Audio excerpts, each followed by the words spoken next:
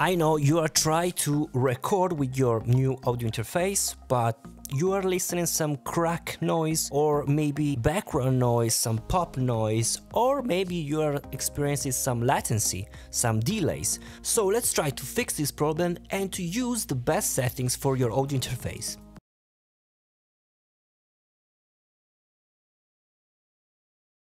So now as you can see I'm in Studio One but basically you can use whatever kind of DAW you want. To set your audio interface correctly you need to search something like buffer size and depend on the kind of your uh, audio device can be in different place. And normally you can receive a mixer for your audio interface. So for example if I go here this is the universal control that manage the mixer of my uh, audio interface. If I go here I can see all the channels of my microphones the output different mix that I can make some processor gate compressor and stuff like that normally you receive this but this is not the case because here I cannot tweak the settings of my audio interface to the recording settings. Because here at the beginning you can see the universal control and you can see there is the sample rate. I can change the sample rate but there is nothing about the buffer size, so you have to search something about the buffer size. And for this reason, this depends on your audio interface.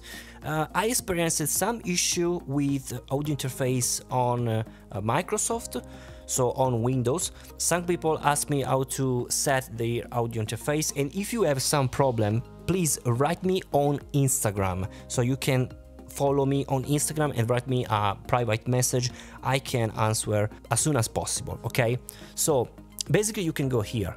I'm on Mac, so I can find this under Studio One and I can go on preferences. Now I'm in Italian version because I'm Italian. But if you are on Windows, you can find something called like option here and then you can go and search for your preferences. In Mac is here, Studio One Preferences. And you can see this tab. You can use also a shortcut. Basically, you have to double click here. You can create a track and when you double click on the track, you can see here this is your mixer. Right click and go to uh, settings, input and output and basically is the same. You go here on preferences and again we are on the same tab. So as you can see, this is what we are searching. Here is in Italian, but is block uh, size, okay? So this is the samples. And what does it mean? Basically, that are the, the samples, so the time that the audio interface will take to process your signal. So when you are recording, you want it, when you talk, for example, in your microphone, you want to listen basically immediately what you are speaking, okay? So you want this number as lower as possible. Sometimes you cannot use too much low number. If you use too low number of these samples, you can experience some of the crack noise, pop noise, because your audio interface is struggling to process uh, the amount of data in so immediate uh, time. So you need to uh, raise a bit this.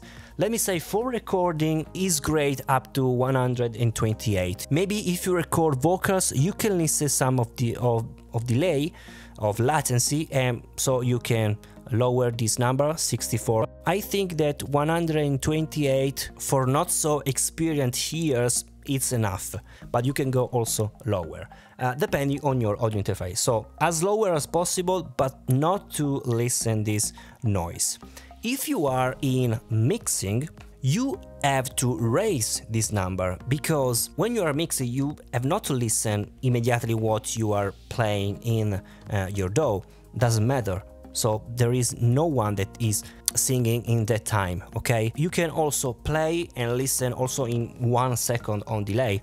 Doesn't matter. You always want to listen what you are doing on uh, mixing process. So you can use really high amount of samples. Normally when I mix, I use this number 1024 samples.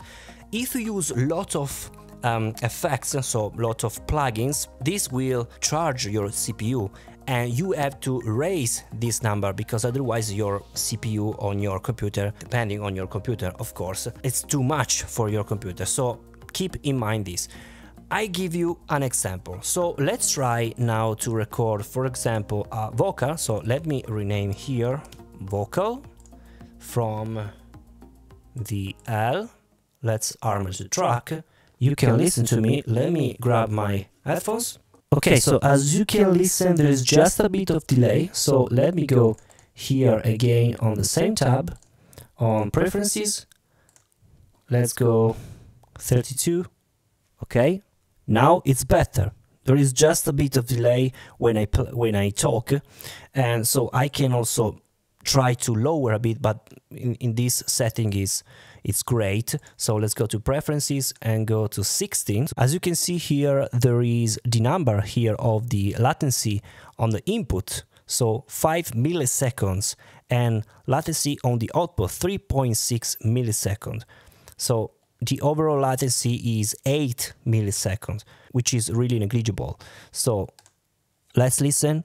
I can listen really clear sound without any noise but maybe if i place some plugins i could start to listen some crackle and some pop so i have to lower this number if i use high amount of this number for example 2000 as you, As can, you can, see, see here, it's, it's also difficult to talk, because, because I'm, I'm listening some delay. Basically, it's, it's like, like, I'm, talking, talking with slow motion.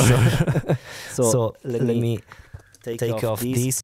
And as you can see, when I'm talking and you are receiving the sound, as you can, is not sync because it's processing and I have almost um, 100 milliseconds.